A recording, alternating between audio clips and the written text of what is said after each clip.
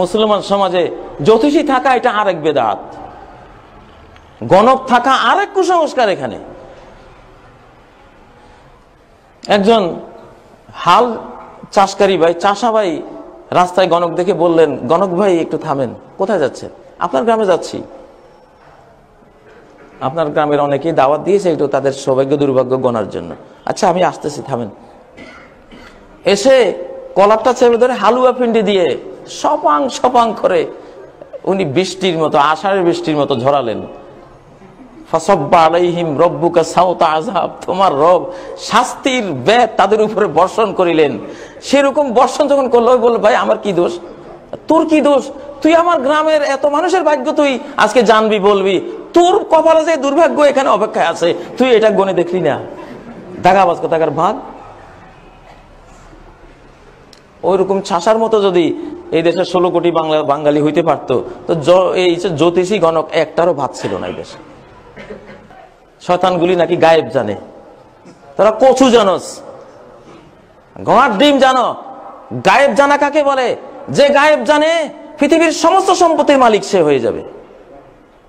তুমি গায়েব জানো দেখি, তুমি দাবি করে গায়েব জানো, তোমাদের পেটে ভাত নাই। প্যান্টটাও দেখতেছি ছেঁড়া।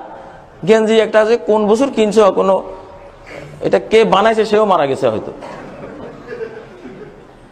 তো তুমি যখনই আল্লাহকে হারিয়ে ফেলবা, ওহে আদম সন্তান, আল্লাহকে যখন হারিয়ে ফেলবা, তখন তুমি হায় হায় হায় হায় কোম্পানি সদস্য ছাড়া আর কিছু হওয়ার কোনো সুযোগ নেই তোমার।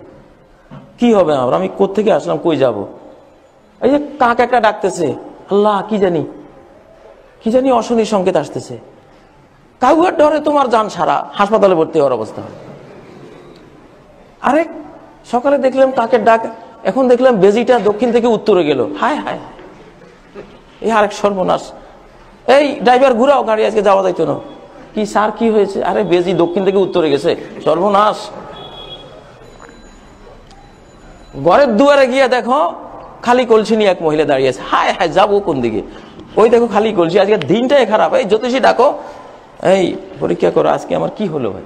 ও, আপনার তো অমুক রাশি। আজকে বার তো সোমবার। ও, আজকে আপনার যাত্রা শুভ না। ঘরে ঢুকেন। আল্লাহ তালা আমাদেরকে তাহিদ সন্ন্যার আলোকে মোহাম্মদী জীবনধারার উপরে আমাদেরকে গড়ে তোলার তৌফিক দান করুন।